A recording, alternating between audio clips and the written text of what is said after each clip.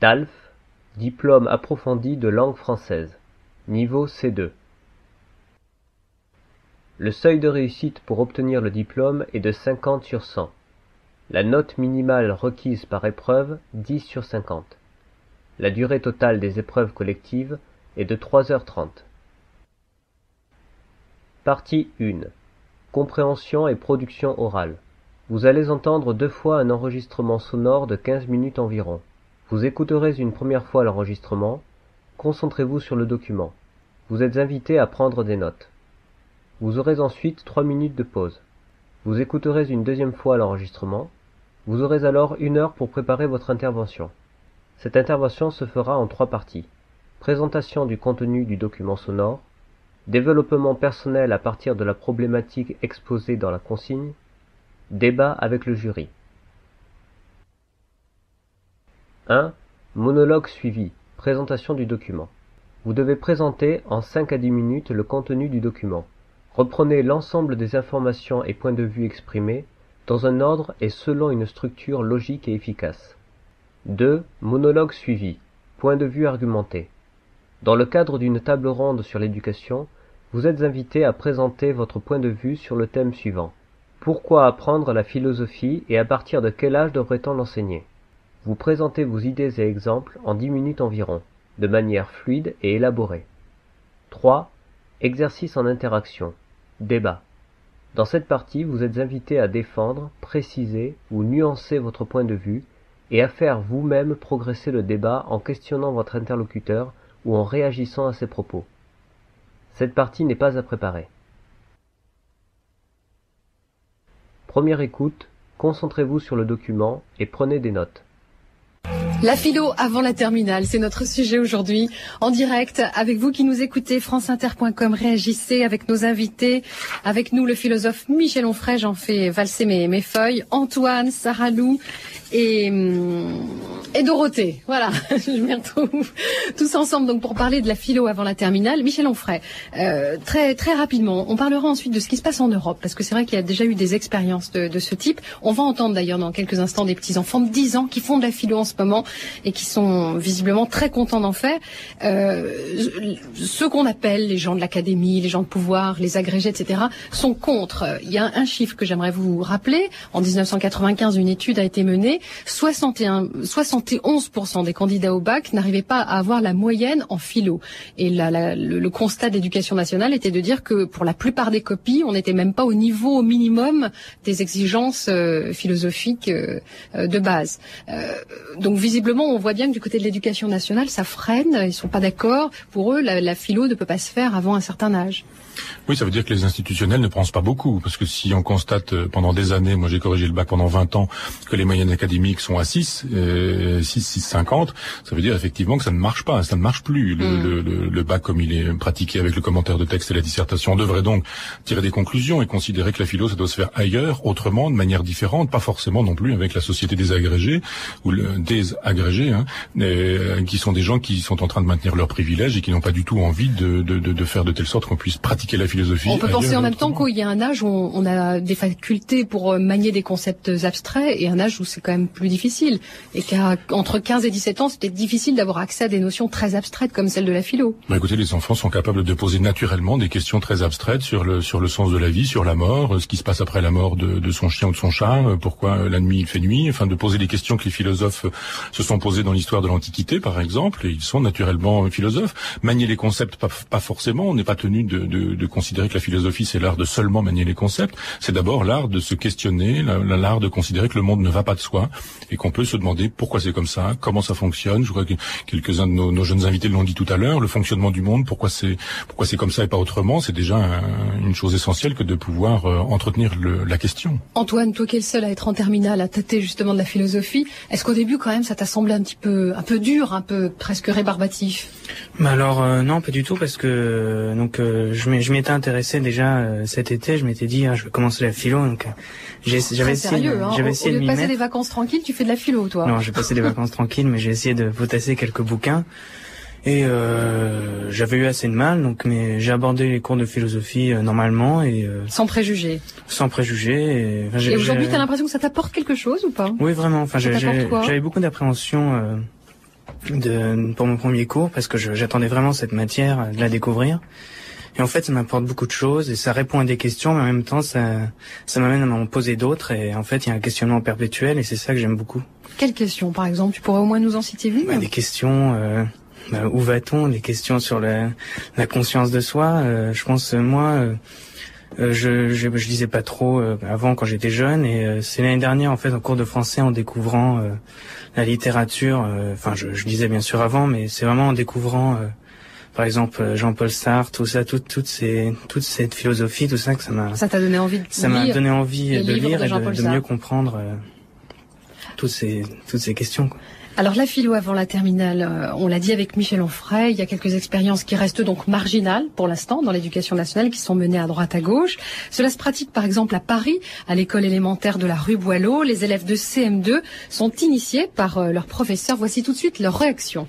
La philosophie, c'est quand on pense et quand on réfléchit à des choses et que ça nous permet de, de savoir pourquoi on fait des choses et pas, et pas comment.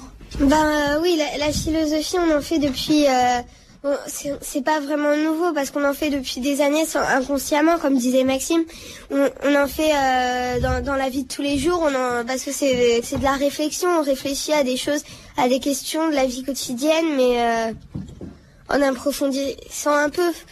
Donc c'est pas vraiment nouveau. C'est important de faire de la philosophie dans la vie pour avoir une, comme disait je sais plus qui, une, certaine culture. Et aussi comme disait Corentin, c'est c'est ce qui est dur dans la philosophie, c'est euh, de faire de pas tout le temps donner du concret. Faut donner des notions abstraites. Et donc c'est assez dur parce que c'est facile de donner des exemples de la vie de tous les jours mais euh, de donner une notion, une conclusion un peu, c'est beaucoup plus dur. Euh, la philosophie à 10 ans, c'est bien parce qu'on a quand même 10 ans d'expérience, on a vécu 10 ans, donc euh, on a quelques idées sur la vie, donc c'est bien de faire la, la philosophie en CM2. Alors dans ce cas-là, pourquoi est-ce que vous croyez que euh, à l'éducation nationale, on a décidé que les élèves pourraient faire de la philosophie qu'en terminale? Ben, Moi, je dirais plutôt que l'éducation nationale, elle s'est trompée parce que là, en CM2, on arrive tout à fait à en faire de la philosophie.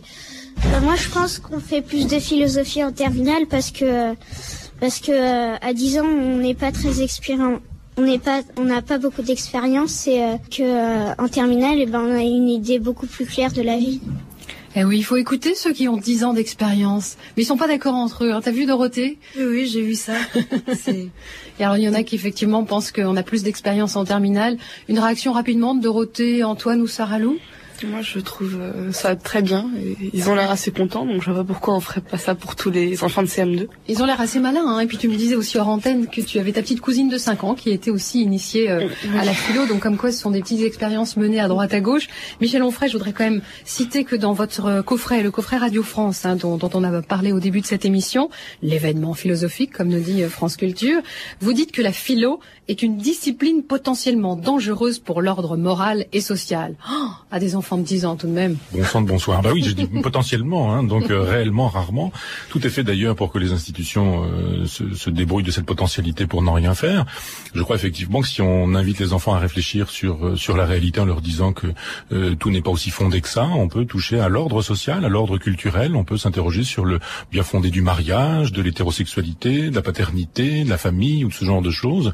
Et c'est potentiellement dangereux effectivement quand on met en quand on met en péril les piliers de notre civilisation. En même temps, c'est un âge où ils sont en train de se structurer. Donc si on introduit le doute dans leur tête, puisque le principe de la philosophie, c'est aussi de douter, est-ce que justement on n'est pas à l'encontre de ce qu'on devrait faire justement C'est pas le principe. Le doute, c'est une méthode. C'est pas un principe, euh, un principe qu'il faudrait inculquer dans la tête des enfants en disant voilà douter de tout systématiquement. C'est un moment dans un mouvement. Il s'agit de douter pour parvenir à des certitudes. S'il s'agit de ne faire que douter euh, que, que douter les enfants, c'est pas intéressant. Au contraire, j'ai été prof longtemps, 20 ans, et le doute me faisait de la peine dans la tête de, de mes élèves. Je disais c'est un moment, ça va passer. Et à l'évidence, vous avez cru des choses pendant un certain temps. Le doute arrive et au-delà du doute, il y aura de nouvelles croyances, de nouvelles nouvelles certitudes, peut-être les anciennes d'ailleurs, mais, mais mieux pensées, mieux fondées. Euh, le doute, c'est pas ce qu'il faut viser. Ça apparaît à un moment, à un moment donné du travail philosophique, mais c'est un moment qu'il ne faut pas faire perdurer. Je précise d'ailleurs que vous avez été prof pendant 20 ans en lycée technique. Vous avez refusé d'entrer à l'université alors qu'on vous le proposait. Euh, on va continuer de, de suivre cette expérience auprès de ces enfants de 10 ans qui biberonnent donc de la philo. Et ils le font grâce à leur euh, professeur Gérard Huberland. Ça fait longtemps que l'idée lui trottait dans la tête. Il n'hésite pas d'ailleurs à leur parler de Schopenhauer. Les tables sont disposées en U. Au mur, un portrait de Blaise Pascal et un autre de Montesquieu. Notre reporter s'est dit vraiment bluffé par l'attitude de ces enfants. À quoi ressemble ce cours de philo pour CM2 Thomas Chauvineau s'est installé au fond de la classe. Alors la question que je vous pose aujourd'hui, c'est une question qui a fait couler beaucoup d'encre et qui en fera encore couler beaucoup. C'est qu'est-ce que c'est qu'être libre? Voilà, je vous écoute si vous avez des idées là-dessus. Marine? Être libre, c'est euh, ne pas être commandé, ne pas avoir de chef. Euh, enfin, pour certains, c'est un peu faire euh, ce qu'on veut. Rosa pas forcément faire ce qu'on veut parce que la liberté, faut, euh, on peut avoir euh, des libertés, mais il faut que notre liberté, faut pas qu'elle gâche la liberté des autres. D'accord. Samuel Notre liberté, elle doit être limitée parce que personne ne peut faire ce qu'on veut si la liberté, elle est, elle est pas limitée. Anna bah, quand on est dans la rue, on est des piétons. Euh, c'est rouge pour les voitures. Bah, comme elles veulent faire ce qu'elles veulent, bah, elles traversent au rouge, par exemple. Moi, je dis, je fais ce que je veux. Voilà, je suis dans ma voiture, tout le monde dit ça. Moi, je fais ce que je veux. Qu'est-ce qui se passe si chacun fait ce qu'il veut en voiture? Plus personne ne pourra circuler puisque les voitures, elles feront ce qu'elles veulent. Bah, plus personne ne peut circuler, ne peut passer. On peut plus rien faire. Ce que dit Anna là, c'est que si tout le monde décide de dire je fais ce que je veux, je suis libre, eh bien, plus personne. Rosa bah, Après, plus personne n'est libre. En fait, ce que disent Rosa et Anna, c'est très intéressant sur la, notion de liberté. C'est qu'en fait, c'est trop de liberté supprime la liberté de tout le monde. Si tout le monde dit moi je fais ce que je veux, il n'y a plus aucune liberté. C'est pour ça qu'il y a des règles. Hein. c'est ce que les philosophes appellent des paradoxes. Mais ce que je voulais dire pour en revenir à ce qu'avait dit Marine, euh, ne pas avoir de chef, je suis pas trop d'accord parce que les gens qui sont libres, ils ont, en général, ils ont un travail et dans un travail, on peut avoir un chef et c'est pas parce qu'on a un chef qu'on n'est pas libre. Quand, par exemple, ton papa ou mon papa, il a un chef et c'est pas pour autant qu'il est pas libre. Si on n'obéit que à son chef, euh, on est un peu prisonnier aussi si on, euh, si on, si on reste toujours aux ordres de quelqu'un. Mais oui, mais ça dépend ce qu'on entend par chef. Ça dépend que ça, quand, quand c'est un chef qui. Eh on vient de l'entendre, et oui, la philo n'attend pas le nombre des années. Dans le même ordre d'idées, j'aimerais vous parler du livre de Michel Onfray, l'antimanuel de philosophie, qui a été publié il y a quelque temps déjà aux éditions Bréal. Dans le même ordre d'idée, je j'explique pourquoi. Pour parler de notions philosophiques comme la liberté, vous utilisez des questions euh, qui, à mon avis, doivent séduire. On va le voir tout de suite. D'ailleurs, euh, les adolescents. Pourquoi votre lycée est-il construit comme une prison? Un éducateur pédophile choisit-il sa sexualité? Pour parler de la technique, pourriez-vous vous passer de votre téléphone portable? Euh, L'introduction est, sous forme de question également. Faut-il commencer l'année en brûlant votre professeur de philosophie? Est-ce qu'effectivement, si les cours étaient faits de cette manière-là, ça vous donnerait envie d'aborder la philosophie, Dorothée ou Sarah Lou moi, j'ai lu ce livre euh, et il t'a plu? C'est un livre qui t'a plu? M'a beaucoup plu justement. Tu peux dire non, même si l'auteur est avec nous. Hein. mais justement, l'intérêt de ce livre, c'est qu'il y avait une question ensuite la vie de Michel Onfray et quand il nous expliquait ça et on n'avait vraiment pas l'impression d'être une bête curieuse et quelque chose euh, d'incompris et euh, il est très bien fait c'est vrai parce qu'il est très synthétique avec euh, la biographie de, de, tous les auteurs tous les grands auteurs mhm. tous les grands philosophes avec des exemples précis. Dorothée est-ce que tu connais ce livre? Non je l'ai pas lu mais il m'a l'air très intéressant. Est-ce que vous pensez que la philo devrait être plus souvent présentée sous cette forme là ou comme on vient de l'entendre grâce à Gérard Huberlon? Antoine. Euh, moi, enfin, j'ai un peu lu ce livre. au lycée Victor Duruy à Paris. Oui, j'ai un peu lu ce livre et ce que j'ai trouvé très bien, c'est que ça présentait un thème et qu'ensuite, après, il y avait des textes et que euh, après avoir lu euh, ce que disait Michel Onfray, on pouvait aborder les textes d'une en les comprenant mieux et c'est ça que j'ai bien aimé. Michel Onfray, vous l'avez rédigé en réaction par rapport à tous les autres manuels de philosophie? Faut le prendre comme ça Non, pas du tout. J'ai fait une conférence un jour à, au salon du livre. Les éditeurs sont venus me demander euh, de publier mes notes de cours parce qu'on m'a demandé comment je faisais cours. J'ai expliqué. J'ai dit bah évidemment il n'y a pas de notes de cours. Vous avez mal écouté parce que j'improvise. Je fabrique le cours à partir des questions des, des élèves et du programme et de, et de ma mémoire et du travail en amont. Et ils m'ont dit écoutez si vous vouliez faire un, un manuel, on mettrait une vingtaine de personnes à votre disposition, vous pourriez diriger une équipe. Je dis alors vous n'avez rien compris non plus. Je dirige personne. Je veux pas d'équipe. Je veux bien faire un manuel, mais je le fais tout seul. Et je fais tout. Et comme disait Antoine, c'est ça, c'est ce à quoi je tiens. C'est-à-dire, il y a les questions, bien sûr, il y a un développement, évidemment, il y a les biographies d'auteurs, il y a des textes également. Hein. Il y a des dessins, il y a des bandes dessinées. Oui, parce que souvent, souvent, la philosophie populaire, c'est l'art de ne rester qu'aux questions simples ou à l'accroche. Ça, c'est une accroche. Quand on rentre dans une classe de 35 élèves, euh, à l'évidence, il faut les intéresser. Ils sortent d'un cours de sport, ils vont faire un cours d'espagnol, ils n'en ont rien à faire, ils ont envie de, de, recevoir, de lire le texto que leur copine vient de leur envoyer. Donc, il faut accrocher la classe. on démarre avec cette question-là, mais on démarre. On, on ne reste pas sur cette question-là. Et si je fais un cours sur, si je démarre en disant, mais est-ce que vous pourriez faire l'économie de votre téléphone portable, il faut que ça débouche sur un texte d'Orkheimer qui fait la critique de la technique, de l'asservissement aux objets, de, du rapport que nous entretenons à la société de, de consommation. Il faut, il faut démarrer avec des choses simples, des questionnements qui peuvent intéresser les élèves pour qu'ils puissent voir l'intérêt qu'il y a à lire Horkheimer, Pascal ou Descartes. Parce que le, au bout du compte, il s'agit quand même de faire de la philosophie et pas seulement de la discussion, de la discussion pure.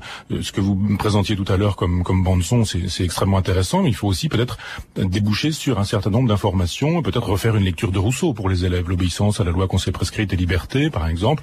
Et puis on explique aux enfants que cette histoire de voiture, de feu rouge, c'est très expliqué. Même à 10 ans. Mais à votre avis, est-ce que c'est plus facile d'enseigner la philosophie à des, à des jeunes gens comme ceux qui sont avec nous, des, jeunes gens de terminale, de, on va dire de 16, 16 17 ans, ou, ou, à des petits de 10 ans, comme on vient d'entendre? Ah, Ce sont des publics différents. D'abord, vos trois invités sont quand même brillants, hein, spécialement brillants, désireux en plus de ça, de, de philosophie, c'est quand même important. Les enfants n'ont pas toujours le, les adolescents le désir de savoir ou la volonté de savoir. Donc il faut aussi rendre hommage aux collègues, aux, collègues qui sont des militants de l'ombre aussi, ceux qui bricolent dans l'incurable, dans leur classe, qui font de les philo, qui font bien de les philo. Antoine le disait tout à l'heure, le prof c'est important pour cette discipline-là, euh, pour toutes les disciplines bien sûr, mais plus encore pour pour la philosophie. Donc je crois qu'il faut il, faut faire, il faut composer avec euh, avec tout ça et, qu'on peut vraiment faire quelque chose de, de très bien sans attendre l'éducation nationale et les directives ministérielles. Il faut inventer dès demain? On peut même commencer avec cet anti-manuel de philosophie qui, à mon avis, doit être quand même un, best-seller. Un, auditeur de France Inter nous a laissé un petit message d'ailleurs pas plus tard qu'hier soir en nous disant que pour lui, c'était de l'alter-philosophie. Je ne sais pas si vous connaissiez cette, expression. Un message aussi, euh, n'hésitez pas, hein, sur franceinter.com, euh, Le Monde selon WAM. C'est Christine qui vient de nous envoyer un petit mail. Comprendre le monde, point d'interrogation. Quelle ambition? Trois points d'exclamation.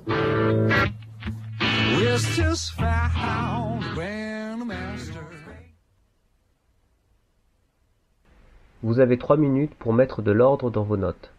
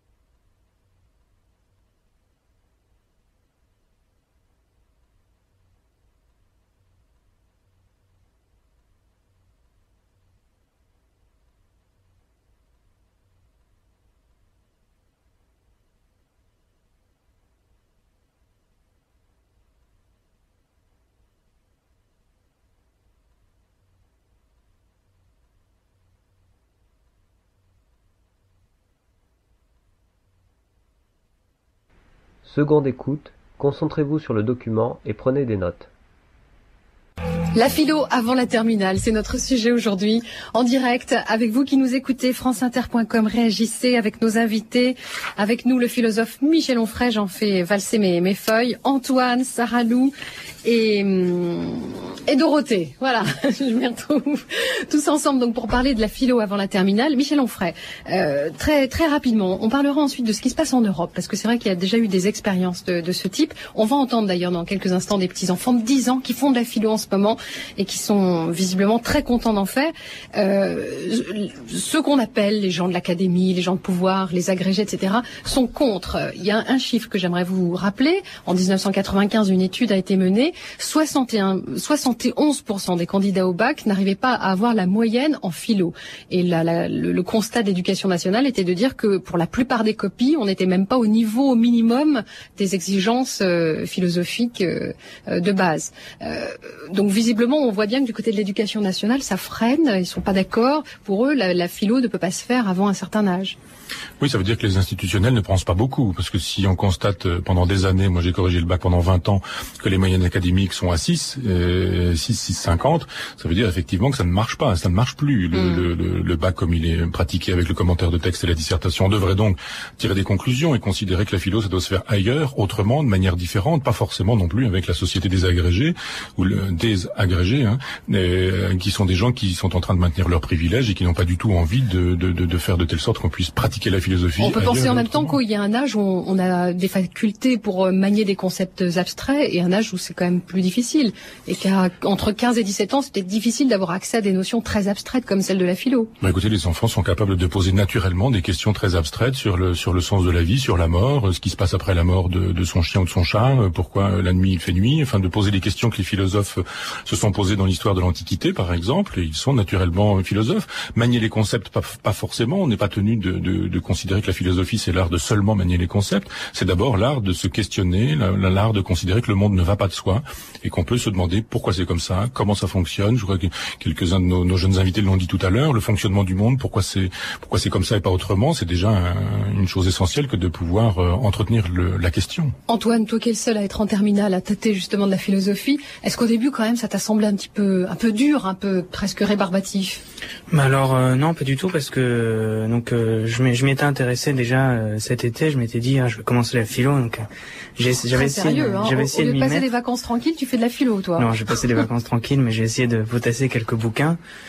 Et euh, j'avais eu assez de mal, donc mais j'ai abordé les cours de philosophie euh, normalement et euh, sans préjugés. Sans préjugés. Et, enfin, et aujourd'hui, t'as l'impression que ça t'apporte quelque chose ou pas? Oui, vraiment. Enfin, j'avais beaucoup d'appréhension euh, de pour mon premier cours parce que j'attendais vraiment cette matière, de la découvrir.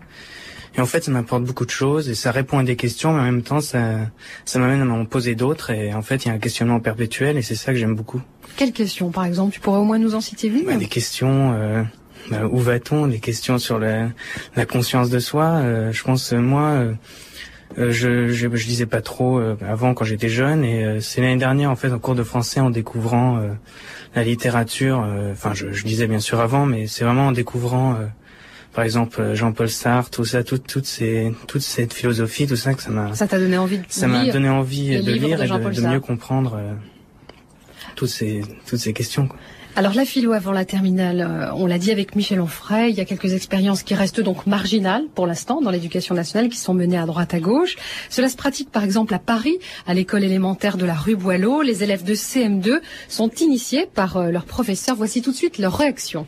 La philosophie, c'est quand on pense et quand on réfléchit à des choses et que ça nous permet de, de savoir pourquoi on fait des choses et pas, et pas comment. Ben euh, oui, la, philosophie, on en fait depuis... Euh, c'est pas vraiment nouveau parce qu'on en fait depuis des années inconsciemment, comme disait Maxime.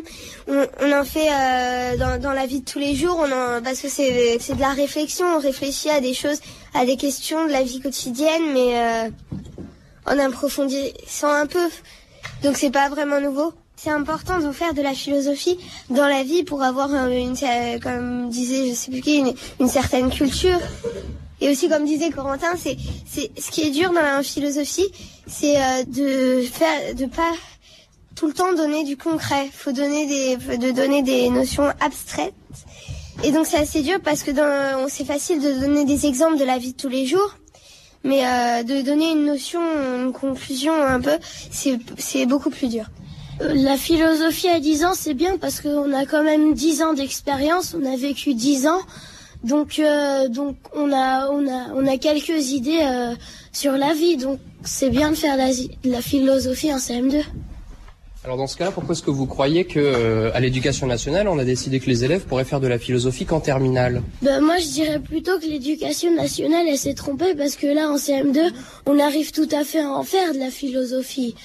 Ben, moi, je pense qu'on fait plus de philosophie en terminale parce que, parce que euh, à 10 ans, on n'est pas très expérimenté. On n'est pas, on n'a pas beaucoup d'expérience et euh, que euh, en terminale, eh ben, on a une idée beaucoup plus claire de la vie. Eh oui, il faut écouter ceux qui ont 10 ans d'expérience. Mais ils sont pas d'accord entre eux. hein. T'as vu Dorothée? Oui, oui, j'ai vu ça. Et alors il y en a qui effectivement pensent qu'on a plus d'expérience en terminale. Une réaction rapidement de Dorothée, Antoine ou Sarah Lou? Moi, je trouve euh, ça très bien. Ils ont l'air assez contents, donc je vois pas pourquoi on ferait pas ça pour tous les enfants de CM2. Ils ont l'air assez malins. Hein. Et puis tu me disais aussi hors antenne que tu avais ta petite cousine de 5 ans qui était aussi initiée euh, à la philo. Donc comme quoi ce sont des petites expériences menées à droite à gauche. Michel Onfray, je voudrais quand même citer que dans votre euh, coffret, le coffret Radio France, hein, dont, dont on a parlé au début de cette émission, l'événement philosophique, comme nous dit France Culture, vous dites que la philo est une discipline potentiellement dangereuse pour l'ordre moral et social. Oh, à des enfants de 10 ans tout de même. Bon sang de bonsoir. Bah oui, je dis potentiellement, hein, donc euh, réellement, rarement. Tout est fait d'ailleurs pour que les institutions euh, se, se débrouillent de cette potentialité pour n'en rien faire.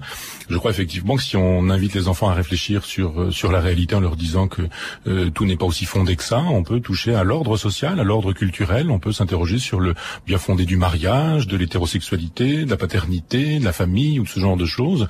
Et c'est potentiellement dangereux effectivement quand on met en quand on met en péril euh, les piliers de notre civilisation. En même temps, c'est un âge où ils sont en train de se structurer. Donc si on introduit le doute dans leur tête, puisque le principe de la philosophie, c'est aussi de douter, est-ce que justement on n'est pas à l'encontre de ce qu'on devrait faire justement C'est pas le principe. Le doute, c'est une méthode. C'est pas un principe, euh, un principe qu'il faudrait inculquer dans la tête des enfants en disant voilà douter de tout systématiquement. C'est Ouais. un moment dans un mouvement. Il s'agit de douter pour parvenir à des certitudes.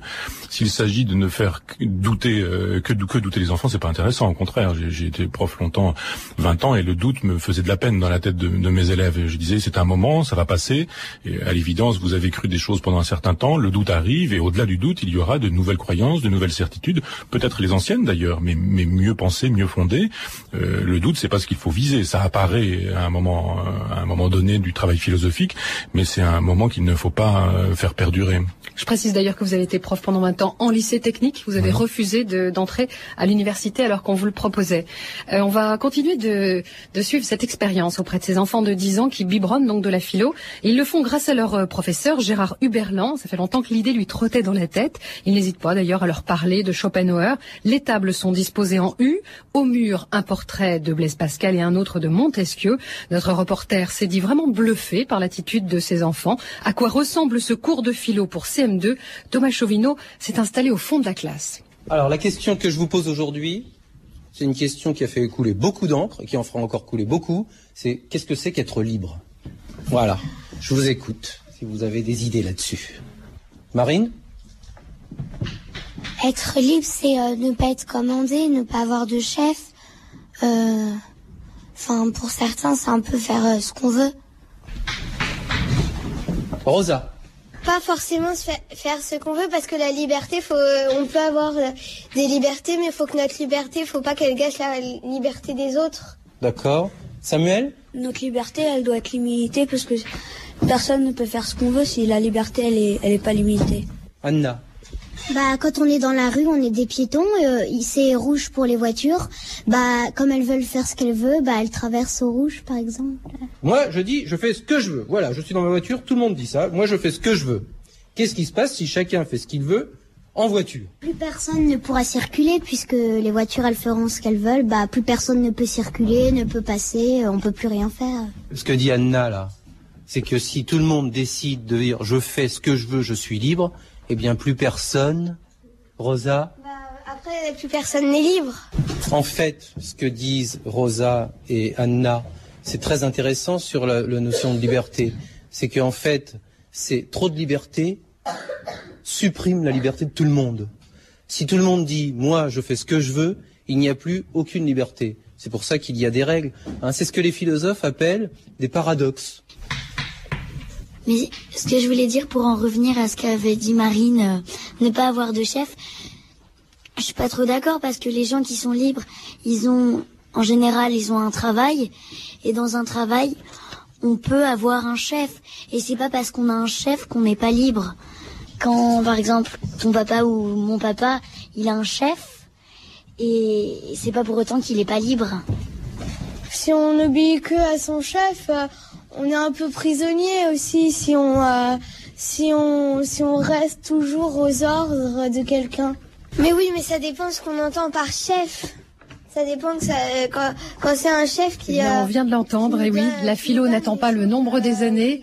Dans le même ordre d'idées, j'aimerais vous parler du livre de Michel Onfray, l'antimanuel de philosophie, qui a été publié il y a quelque temps déjà aux éditions Bréal.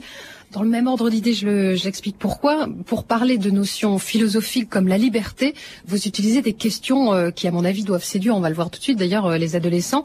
Pourquoi votre lycée est-il construit comme une prison? Un éducateur pédophile choisit-il sa sexualité? Pour parler de la technique, pourriez-vous vous passer de votre téléphone portable? Euh, L'introduction est, est sous forme de question également. Faut-il commencer l'année en brûlant votre professeur de philosophie? Est-ce qu'effectivement, si les cours étaient faits de cette manière-là, ça vous donnerait envie d'aborder la philosophie Dorothée ou Sarah Lou? Moi, j'ai lu ce livre euh, et Il t'a plu? C'est un livre qui t'a plu? m'a beaucoup plu Tu justement. peux parce dire que- non, même si l'auteur est Si, nous. si, hein. mais là, justement, l'intérêt de ce livre, c'est qu'il y avait une question, ensuite la vie de Michel Onfray, et il nous expliquait ça, et on n'avait vraiment pas l'impression d'être une bête curieuse et quelque chose euh, d'in- d'incompris. Et euh, Il est très bien fait, c'est vrai, parce qu'il est très synthétique avec euh, la biographie de, de tous les auteurs, tous les grands auteurs, Mhm. tous les grands philosophes, avec des exemples précis. Dorothée, est-ce que tu connais ce livre? Non, je l'ai pas lu, mais euh, il m'a l'air très intéressant. Est-ce que vous pensez que la philo euh, devrait être plus souvent présentée sous cette forme-là, ou comme on vient de l'entendre grâce à Gérard Huberlin Moi, Antoine. euh, moi, enfin, j'ai un Toi, peu lu ce que livre. tu es au euh, lycée Victor Duruy à Paris. Oui, j'ai un peu lu ce livre et ce que j'ai trouvé très bien, c'est que ça présentait un thème et qu'ensuite, après, il y avait des textes et que euh, après avoir lu ce que disait Michel Onfray, on pouvait aborder les textes d'une euh, en les comprenant mieux et c'est ça que j'ai j'ai bien aimé.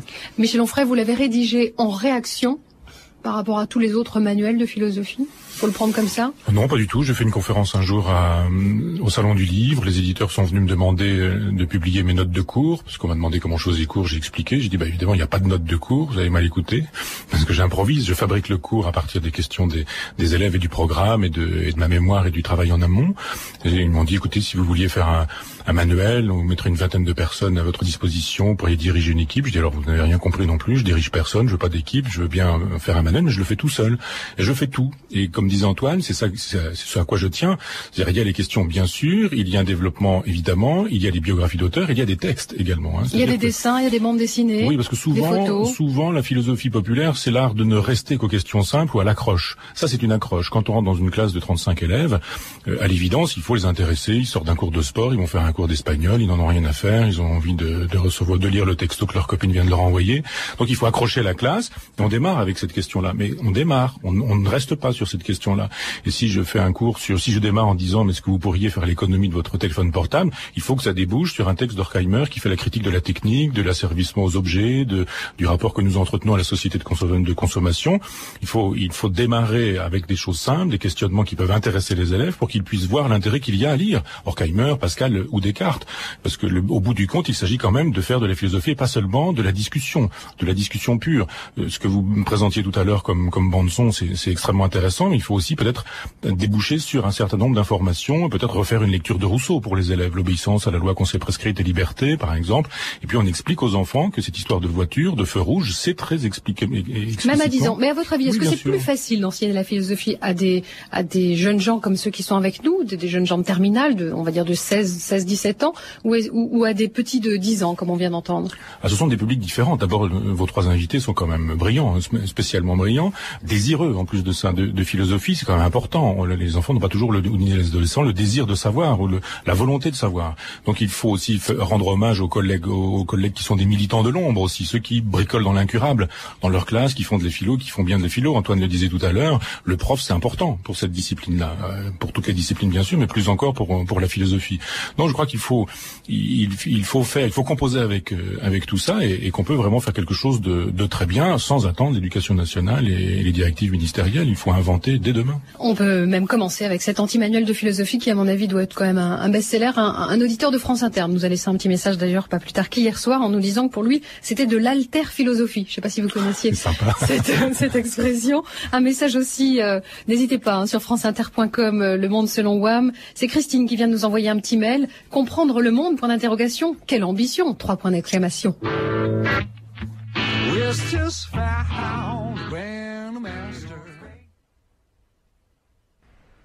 Vous avez une heure pour préparer votre intervention.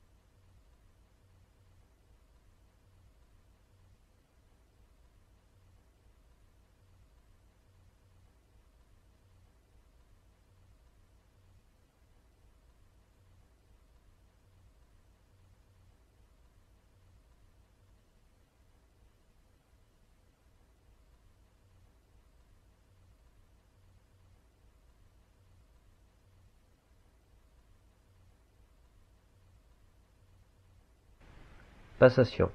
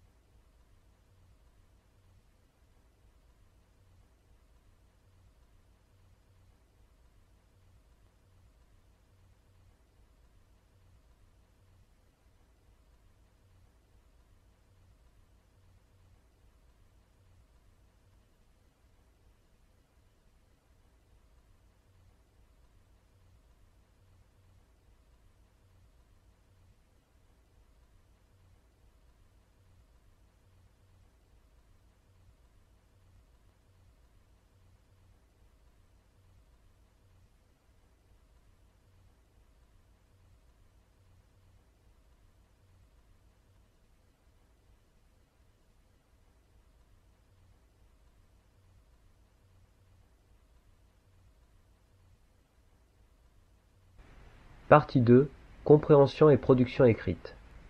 La durée de cette épreuve est de 3h30, en comptant la lecture des documents plus la rédaction d'un texte.